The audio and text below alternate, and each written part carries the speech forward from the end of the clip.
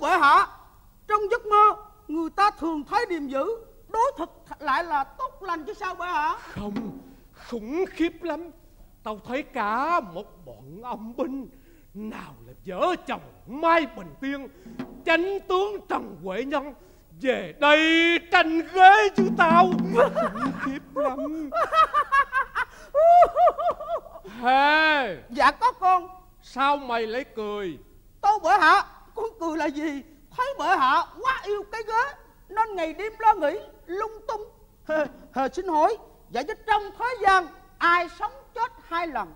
Vậy thì người đã chết sao lại còn tranh ghế? Dạ. Gì? Dạ có một lão già xin được gặp ngài.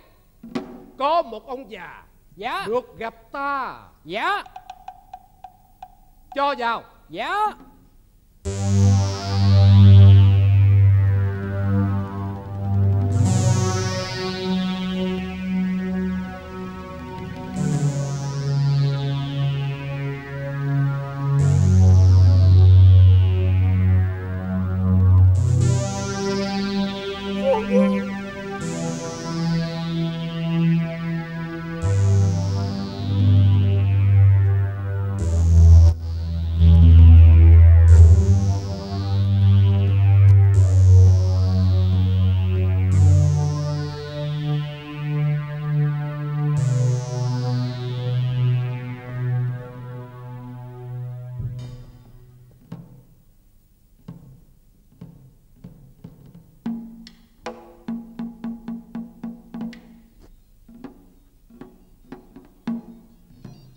mi là ai?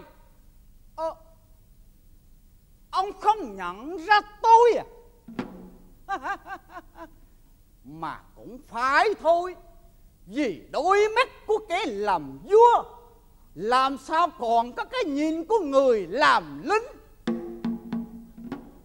Nghe đây lão làm vệ sĩ của phó tướng sài quan tịch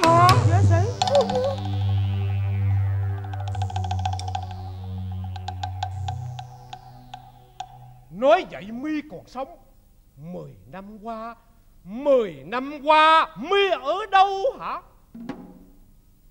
Phải. Ta còn sống.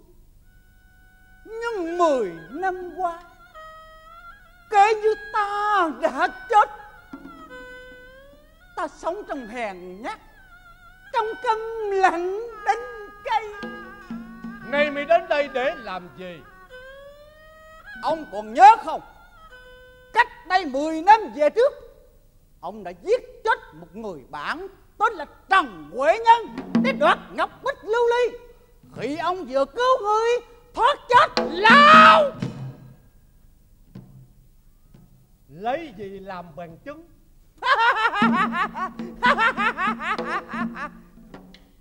Bằng chứng. Được. Ngươi hãy mở mắt mà coi bằng chứng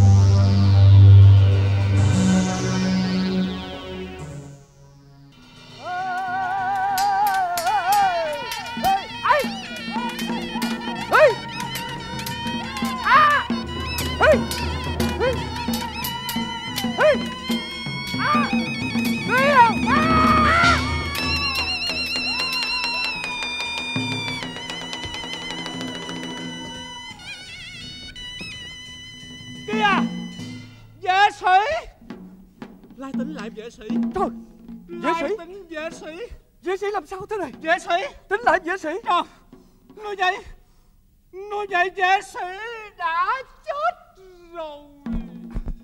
Phó tướng Phó tướng cứ an lòng. Ta sẽ có cách cứu vệ sĩ sống lại.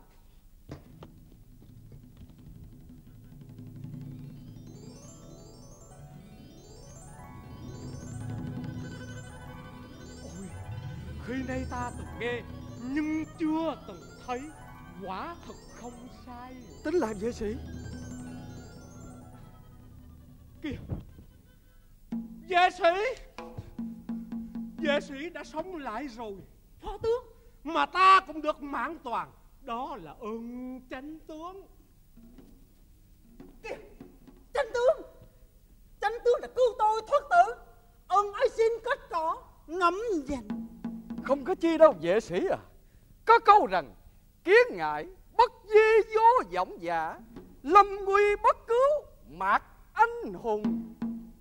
Bây giờ vệ sĩ về báo tin chiến thắng cho triều đình biết trước rồi ta cùng chánh tướng về sau. Đi đi.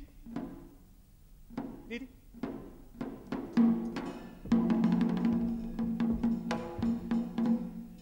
Này phó tướng. Dạ. Thôi anh em ta về đi Kẻo trời sắp tối rồi phó tướng à. Dạ thưa chánh tướng. Xin chánh tướng hãy ở lại Cho tiểu đệ hối một đôi điều. Rồi à, ta về cũng chẳng muộn mà. À Mời được. Chánh tướng. Chánh tướng ngồi Phó tướng ngồi đi. Dạ. Nào Vậy chứ phó tướng muốn hỏi điều gì nào? Dạ thưa chánh tướng. Nhờ đâu chánh tướng có được ngọc bích lưu ly? Ngoài việc cứu chữa người Qua trăm thứ bệnh Ngọc bích lưu ly còn làm gì nữa thưa chánh tướng? Này phó tướng. Dạ. Đây là ngọc bích lưu ly Tổ phụ ta được cá quá rồng trao tặng. Ngoài việc chữa qua trăm thứ bệnh Ai giữ nó vào người Thì đao kiếm bất khả xâm phạm đó phó tướng à. Đao kiếm bất khả xâm phạm. Dạ thưa chánh tướng cho tiểu đệ xem lại một lần nữa có được không nào? À được. Nào phó tướng cứ tự nhiên. Dạ.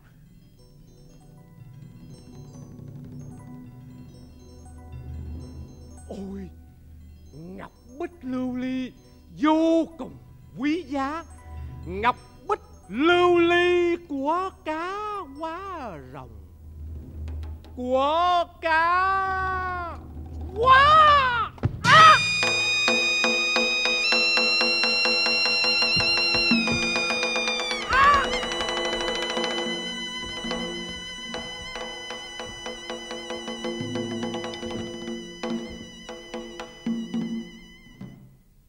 đây ngọc quý trợ ban nhà ngươi không có quyền giữ mãi.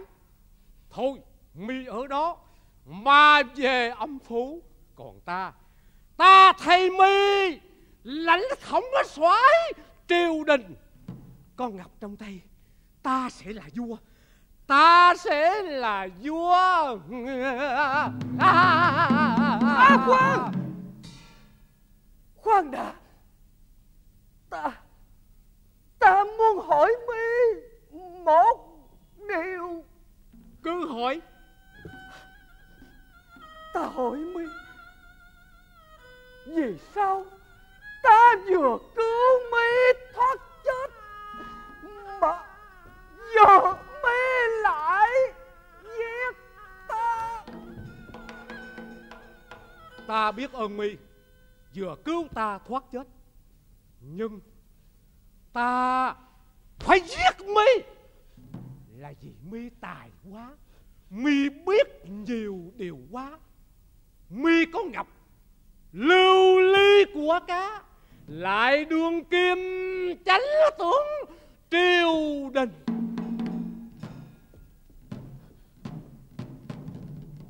Còn ta ta cũng cần địa vị quan vinh cần ngọc quý để đứng đầu thiên hạ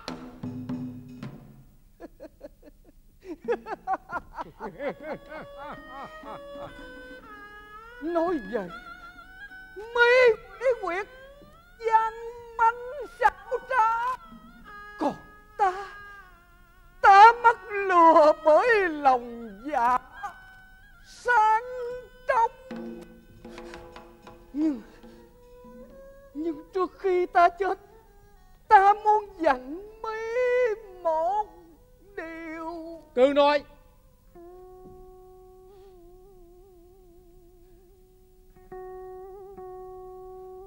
ta giận mi đừng đừng nói cho ai biết rõ đục trong rằng chính mi mi đã giết người vừa cứu mi mi đã biết. Ta gian manh xáo quyệt. Vậy mà mi sắp chết rồi. Vẫn còn nói ngu si. Ta giết người. Dạy gì kế cho ai nghe để rồi tự trồng gông vào cố. Thôi, mi ở đó mà về âm phủ. Còn ta ta đi đủ trí khôn để giữ ngọc giữ mồm Vậy là được rồi. Nhưng Trước khi nhắm mắt xuôi tay Để vĩnh biệt cõi đời, Ta chỉ sợ cho mi Đặng tri đa ngôn Quên giữ miệng kể cho đời, Nghe biết. Để rồi. Ai cũng sợ. Cứu người thì người giết. Đến lúc lâm chung, chẳng ai dám cứu ai. Ngay cả mi, ngay cả mi, nếu tái nạn lần hai, đời đời sợ giống như ta sẽ bỏ mi chết. Mất. Cảm ơn cái chết của mi cảm ơn mi đã chết.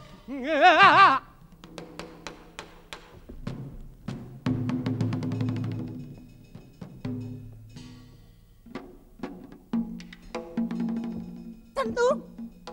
Tranh tướng. Tỉnh lại đi tranh tướng. Sai quá Tôi sĩ đây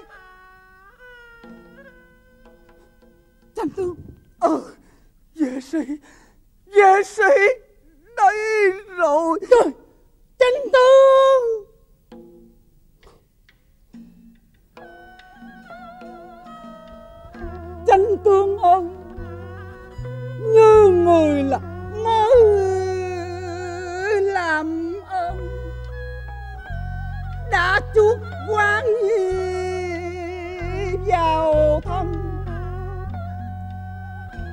Giờ cứu bạn, lại chết gì tay bạn. Ta đi trách ai đó, đổi ân thành quan. Xui cho người nhân nghĩa hy thác quan. Vệ sĩ tranh tướng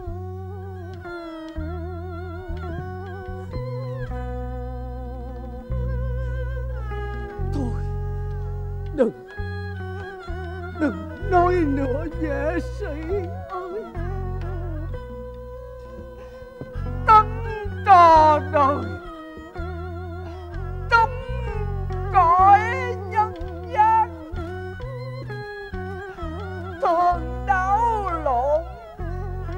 Giả chân thiện ác.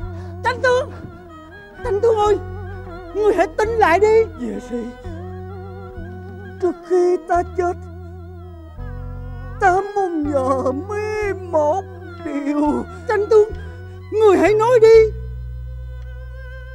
Ngươi hãy tìm gặp Hai con ta là Huệ Minh, Huệ Sơn. Và nói cho chúng biết, Tim Ngọc Thiên Và thù hận Phải từ đâu Tranh tướng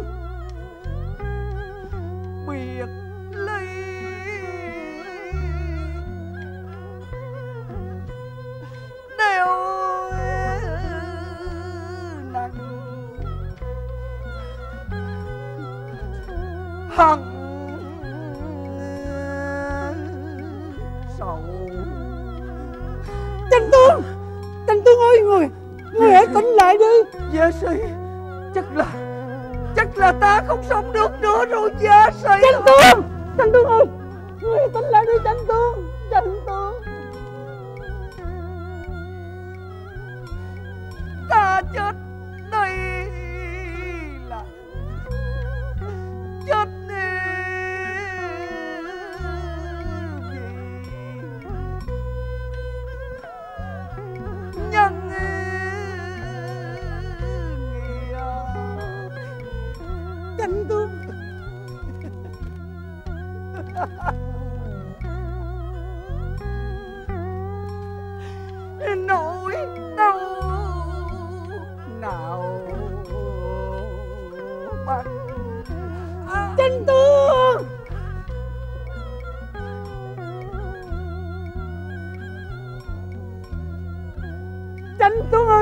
người Vì nghĩa nhân, Đem Ngọc Thiên để cứu bạn.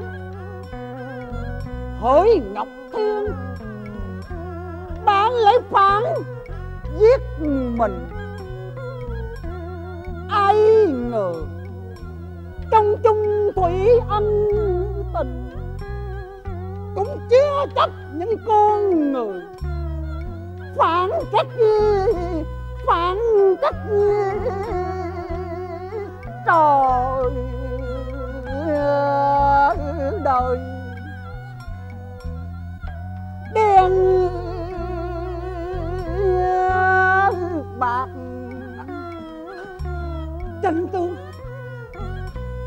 Tôi xin hứa cùng với tranh tướng lời dặn.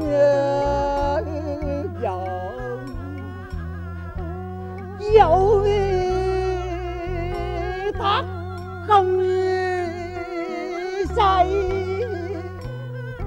Gia sĩ gia sĩ tranh tướng tôi đây mà. Gia sĩ tranh tướng tranh tướng tranh tướng ơi. Tỉnh lại đi tranh tướng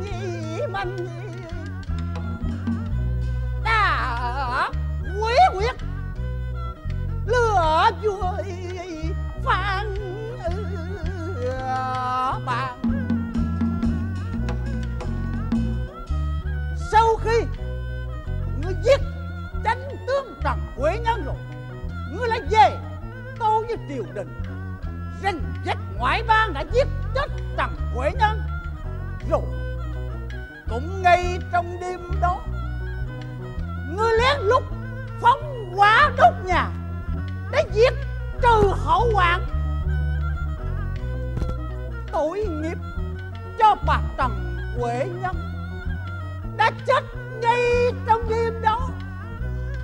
Còn hai đứa con của người thất lạc mỗi đứa mỗi nơi. Vậy là mi gieo thù kết quả gây tắc tan, trăm họ ở nhà lão mang thương khi quân dám bịa chuyện du quan thiên tử à. Xem thường ư phép nước, lại bảy mưu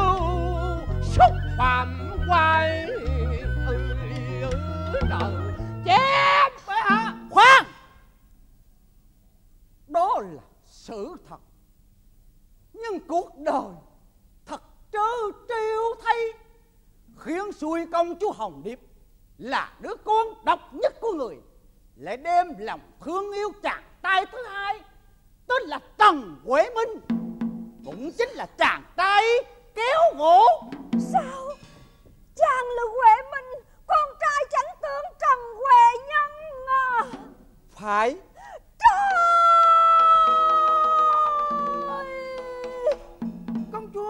chúa đó. Chuyện đã qua, ta biết rõ đuôi đầu, nhưng hèn nhát sợ trả thù, không dám nói. Ta đi lanh ở ẩn trong cõi đời lòng đau nhói. Nhưng ta không ngờ, càng lanh đời, ta lại càng quý đời hơn và không thể trốn lương tâm đâu được.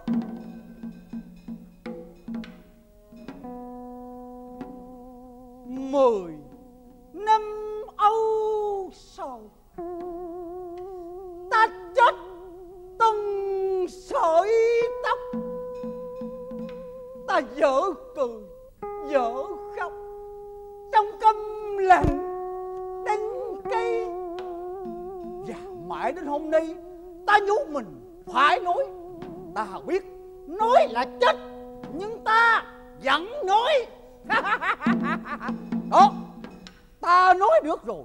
Ngươi hãy giết ta đi. Quan tài đây ngươi chớ tiếc gì. Khi ta chết sẽ bỏ ta vào đó. Sao phu quân chém phải hả? Phải hả? Cha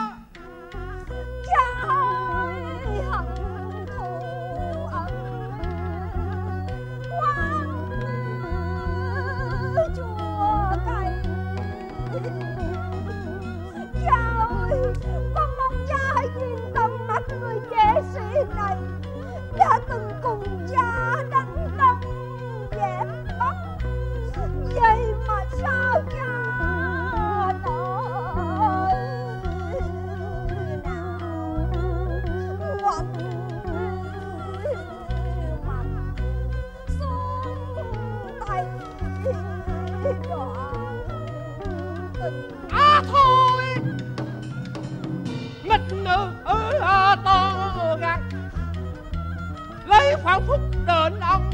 dưỡng dục à? Phu trương ông xanh tây áo đem cho ông trả nghĩa sinh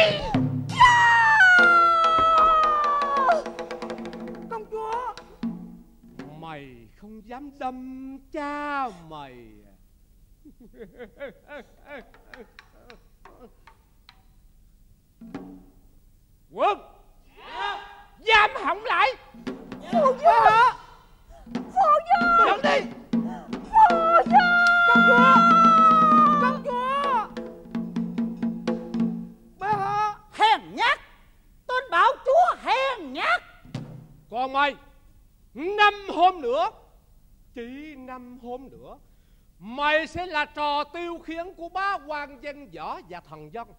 Mừng ba năm tròn chiến thắng của ta Dẫn đi! Hèn nhát! Tên đạo chúa hèn nhát! Dẫn đi! Vệ sĩ!